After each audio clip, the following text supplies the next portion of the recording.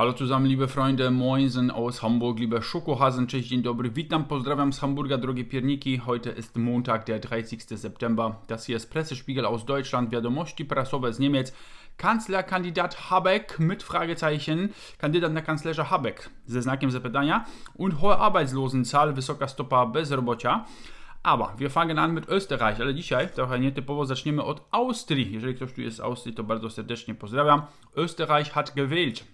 Chodzi o to, że Austria zagłosowała, słuchajcie, no und die rechtsextreme äh, FPÖ ist die stärkste Partei geworden. No i teraz najsilniejszą partią jest skrajna, skrajnie prawicowa FPÖ.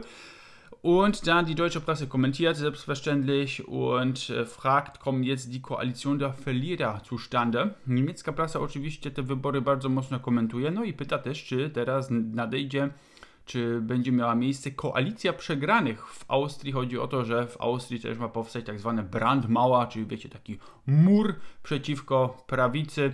Zobaczymy, co z tego wyjdzie. Niemcy bardzo tym tematem zainteresowani, ale też bardzo ciekawe, że cały czas ta fala prawicowych partii, nacjonalistycznych partii w Europie przetacza się, że tak powiem, przez Europę. Dann weiter. Jetzt beginnt das gegenseitige Belauern. SPD, FDP und Grüne bereiten sich auf Ampelbruch vor. Tymczasem w Niemczech zaczyna się wzajemne takie obwąchiwanie. Partie SPD, FDP, Zieloni przygotowują się do no, rozpadu koalicji. No najpóźniej w przyszłym roku ta koalicja się rozpadnie, wtedy kiedy będą normalne wybory, ale już partie się tutaj sądują i szukają swojego miejsca na scenie politycznej. Dann, liebe Leute, nach dem Rücktritt Chaos, jetzt will Habeck die ganze grünen Macht. Die Bild-Zeitung, Gazeta Bild pisze o tym, że pan minister Habeck, pan wicekanclerz E, Habeck teraz chce przejąć całą e, władzę w partii Zielonych po tym całym chaosie związanym z rezygnacją na szczycie partii, ale uwaga, trochę teraz takie rozczarowujące do pana e, wicekanclerza może być następne badanie. Das denkt Deutschland über Kanzlerkandidat Habeck. Co Niemcy myślą o kandydacie na kanclerza panu Habecku? Die Deutschen würden eher nicht die Grünen wählen, sollte Robert Habeck der Kanzlerkandidat sein. 39% der Befragten sind dazu weniger bereit mit Habeck als Kandidat. Słuchajcie, no i teraz Niemcy tutaj zagłosowali i 39% ankietowanych nie jest zbyt chętna do tego, aby głosować na zielonych, na kanclerza, na kandydata na kanclerza Habecka. Także ciekawie będzie, jeżeli chodzi o te wybory, bo naprawdę e, nie ma żadnego takiego jakiegoś super kandydata na kanclerza w chwili obecnej. Słuchajcie, dann haben wir rassistisch, ekelhaft, kartoffelig, linker Sitzsturm gegen Özdemir. Tymczasem Pyra, Ziemniok, rasistowski obrzydliwiec. Tak, tutaj lewicowa wybuchła gównoburza przeciwko Özdemirowi, czyli ministrowi rolnictwa. Dlaczego ta gównoburza wybuchła? Słuchajcie ähm, weil er schreibt, dass seine Tochter von Migranten begafft wird, bo on się wyraził na Twitterze, napisał, że jego córka, czy na jego córkę gapią się migranci. Słuchajcie, to jest tak właśnie jak, że tak powiem, codzienność dogoni nawet polityków, słuchajcie. Aber wir haben jetzt hier Kanzler Scholz und Kanzler Scholz hat ein Abschiebedeal mit der Türkei. Bis zu 500 Rückführungen pro Woche sind geplant. Tymczasem mamy, uwaga, kanclerza Scholza, który zawarł umowę deportacyjną z Turcją i ma być nawet 500 deportacji tygodniowo właśnie z Niemiec do Turcji. Jeden problem, słuchajcie, Türkei dementiert das, ale problem polega na tym, że na razie Turcja dementuje to, że został podpisany jakiś deal, także nie wiem, czy kanclerzowi się wydawało, jak to wygląda. Dann weiter. Wir haben der Einstellungsbereitschaft in Deutschland. Zahl der Arbeitslosen bleibt ungewöhnlich hoch, Quote bei 6%. Tymczasem mamy małą e, gotowość do zatrudniania przez firmy. Liczba bezrobotnych utrzymuje się na dość wysokim poziomie, 6%. Dann Streit über Alterssicherung. Wirtschaftsverbände kritisieren geplante Rentenreform scharf. Tymczasem mamy spór o emerytury. Stowarzyszenia Przedsiębiorców ostro krytykują planowaną reformę e, emerytalną. Äh, Arbeitgeberpräsident äh, sagt hier, so, äh, liebe Leute, für die Bild-Zeitung, die Ampel betreibt Klau. Äh, prezes pracodawców tutaj mówi na łamach gazety Bild o tym, że e, minister Heil, minister pracy tutaj kradnie po prostu. E, und Minister Heil, der will Reform garantieren auf, e, und Rente, Renten mit Rentenniveau von mindestens 48%. Chodzi o to, że pan minister pracy chce zagwarantować emerytury, emerytury takie minimalne na poziomie 48% e, minimalnej emerytury. To znaczy, to by była taka emerytura, którą by dostawali wszyscy. Pracodawcy się z tym nie zgadzają. Chodzi oczywiście o to, że e, cała sprawa ma być zbyt droga właśnie dla pracodawców.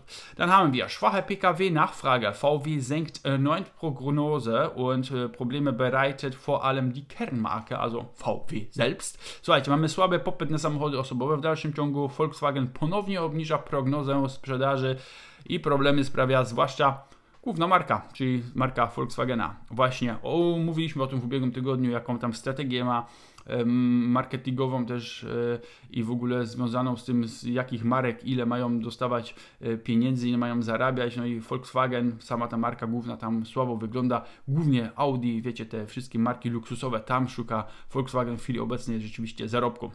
Dann neue Leasingsverträge. Äh, äh Analyst prophezeit e-auto-boom ab 2025. Mamy mieć nowe umowy leasingowe i analitycy przewidują boom na e, samochody elektryczne od roku 2025, czyli już od przyszłego roku.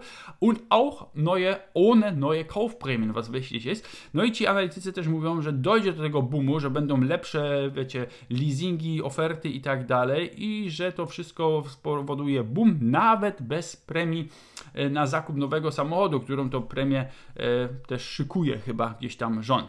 Dann, Internetziel der Ampel droht zu scheitern. Also mich wundert das alles nicht. Słuchajcie, internetowy cel tutaj rządzącej nam koalicji e, też grozi niepowodzeniem. Powoli już mnie te wszystkie takie negatywne wiadomości jakoś nie ruszają. Ähm, der Verkauf von DB Schenker, Deutsche Bahn Schenker, steht doch auf der Kippe. Gewerkschafter äh, wollen den Deal im Aufsichtsrat jetzt noch stoppen. Äh, czy sprzedaż Deutsche Bahn Schenker jednak dojdzie do skutku, tak czy nie, ma być sprzedane Duńczykom. E, związkowcy chcą zatrzymać porozumienie w Radzie e, Nadzorczej.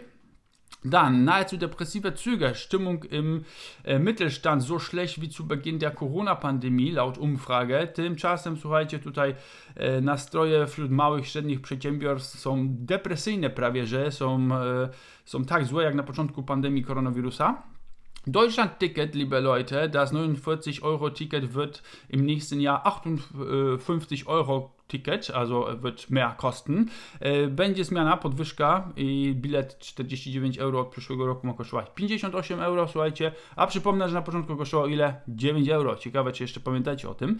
Und liebe Leute, dann aus Polen noch eine Info. Polnischer Präsident wegen Nazi-Vergleichs äh, verklagt. Tymczasem jeszcze z Polski tutaj informacje. Polski prezydent, pan Duda, został pozwany za pomówienie e, czy przyrównanie do nazistów. Es geht um den Film Grüne Grenze, Green Border über illegale Pushbacks und so weiter kennt ihr. Und äh, selbst Präsident Duda schaltete sich ein ja, in dieses äh, Streitthema und verglich Zuschauer indirekt mit Nazi-Kollaboratoren. Das hat jetzt nun Folgen. Chodzi o film Zielona Granica. Znacie temat. E, no i tam dużo ludzi komentowało ten film, interweniował, komentował także Andrzej Duda, który pośrednio porównał widzów do nazistowskich kolaborantów i ma to teraz swoje konsekwencje. Das war's für heute. Ich wünsche euch einen angenehmen, erfolgreichen Montag und einen guten Start in die neue Arbeitswoche. Liebe Grüße von mir. Tschüss.